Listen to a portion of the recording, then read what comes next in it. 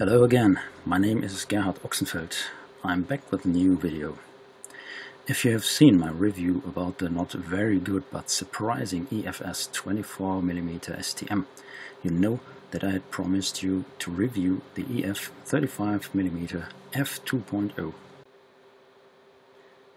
You have seen my video about the 24mm STM, so you know that I have the not cheap EFS 15 to 85mm 3.5 to 5.6 and might wonder why I don't take an average landscape photography like this with my zoom lens.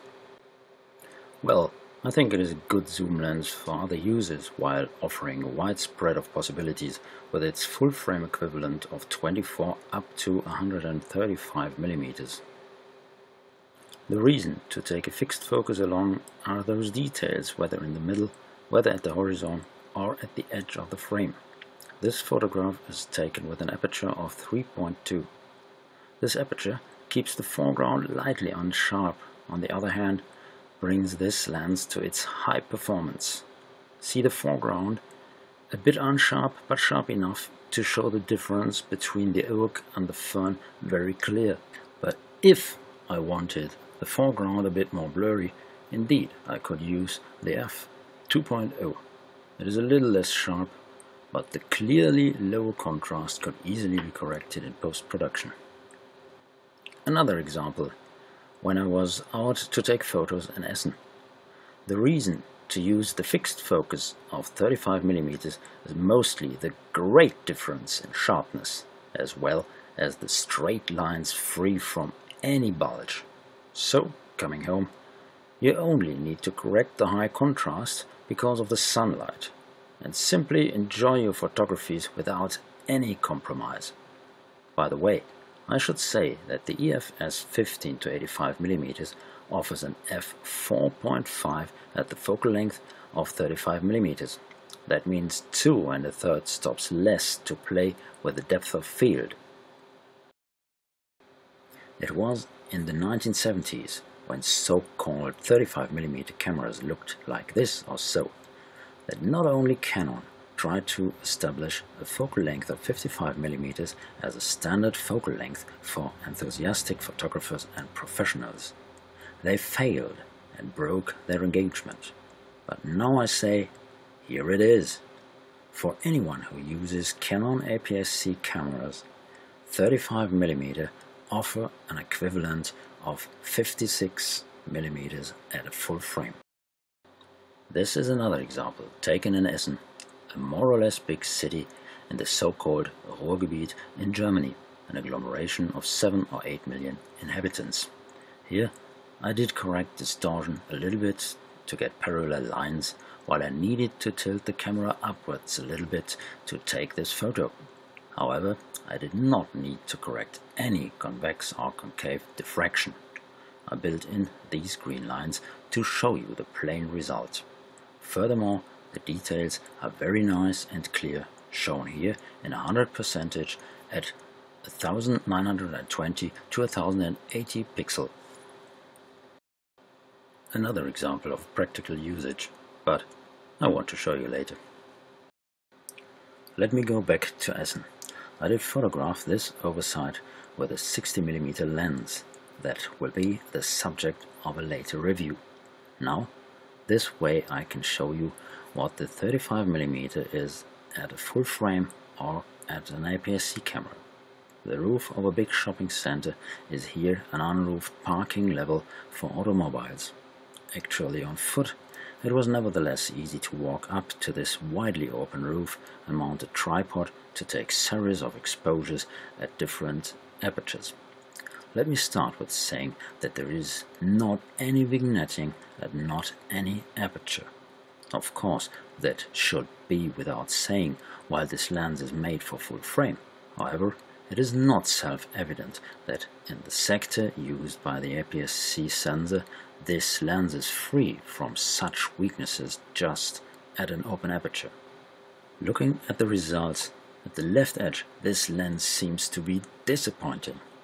Let me tell you that this is a prime example to show what depth of field really is. It will be a subject of another and short video. So let us now have a look at the right edge of the frame. Areas of low contrast offer their usability just at an open aperture of f2.0.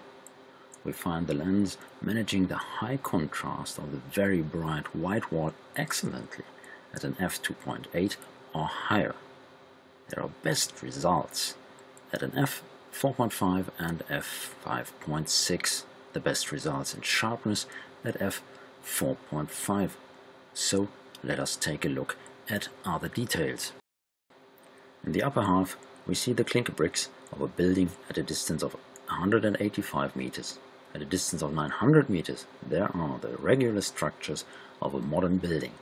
Both we find low contrasts and at any aperture they are really good results. Nevertheless, best results surprisingly already at an f4.0. The lower half shows a weathered white building at a distance of 600 meters. We see a pylon and a high voltage line at 1600 meters. Finally, a winding tower, nowadays out of use, at a distance of 1700 meters. No doubt, in the far distance there are best results at an aperture of 4.0 and 5.6. This makes me curious. Enough reason to treat you with a detailed comparison using thirds of aperture stops. Depending on usage and necessity, the lens is good at any aperture. In my opinion, it is very good at f3.5 up to f9. It is excellent at apertures between f4.0 and f7.1. Nevertheless, the red letters on a white ground are good to check the ability to handle contrast. Here I find the best results with a clear separating at f3.2 up to f5.6. Let me end my little shooting tour through Essen with a photography only for enjoying. Here as well, I did correct the distortion while I lifted the camera up with an angle of around 30 or 40 degrees. Furthermore, I did only level the extreme contrasts. Using raw format only, it was no problem to level very dark and very bright sections. The cutout of 100%, again at a size of 1920 to 1080 pixel, will show you that the lens has at last nothing to do with chromatic aberrations. When I was out in the open countryside again, there was only a common ladybird to present itself on the catwalk, or take refuge to the camera.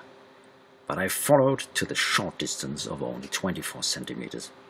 Another example, while the day was windy, the chamomile was not really more patient than the frantic ladybird. It called for some shots to take along a satisfying exposure.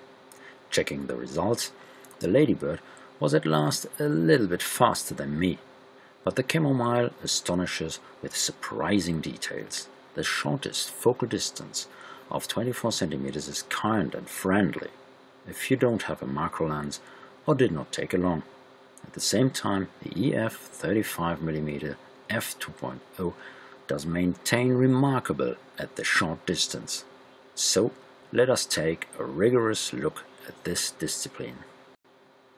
I did simply photograph the wording of a law at the shortest focal distance of 24 centimeters. Here I do only show the 100% outcuts. I am really very surprised to find the best results in the middle at an aperture of 3.2 while the corners are very fuzzy at open apertures, I don't wonder about the sharpness rising up to f9. In post-production, I build in these green lines to show the very low distortion. The not regular distortion will be a result of my negligence setting the camera not completely to the level. No doubt, a macro lens does not lose its justification where the EF 35mm f2.0 IS USM comes along. However, it is constructed to offer best results beginning at a distance of some meters ending at an infinite distance. The EFS 60mm macro offers a scale of 1 to 1 without any tube and is free from poorness in the shortest distance. Nevertheless, the standard lens makes an even good job at such a small thing like 10 inches of distance. But now back to practice. You know my video about the EFS 24mm STM? Then you know the biobaker Enrique Rosales. He did want to have an eye catcher for his selling on the weekly market and at the same time show himself inside his little bakery. Now this is a banner of 180 to 80 centimeters. The colored version I showed for a short moment at the beginning of this video was only the beginning of the process, while the banner was never meant to be colored, a part of the bread only. I used the 35mm lens at an aperture of f3.2 to get a lightly blurry background. Enrique liked to represent himself as a member of the Demeter Association. The Demeter logo is not sharp but clear enough to recognize. The printed version is a textile outdoor banner in life size. At the end, let me show you some examples of shooting against the sun. By and large, lens flares are less and low.